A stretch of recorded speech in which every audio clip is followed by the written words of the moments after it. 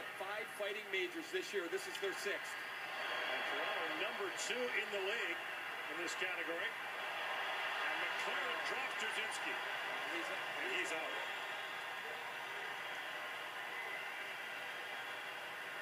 Dave Dziurzynski from Lloydminster, Alberta, has played 10 games now. Was not a major junior or college player. Was signed as a free agent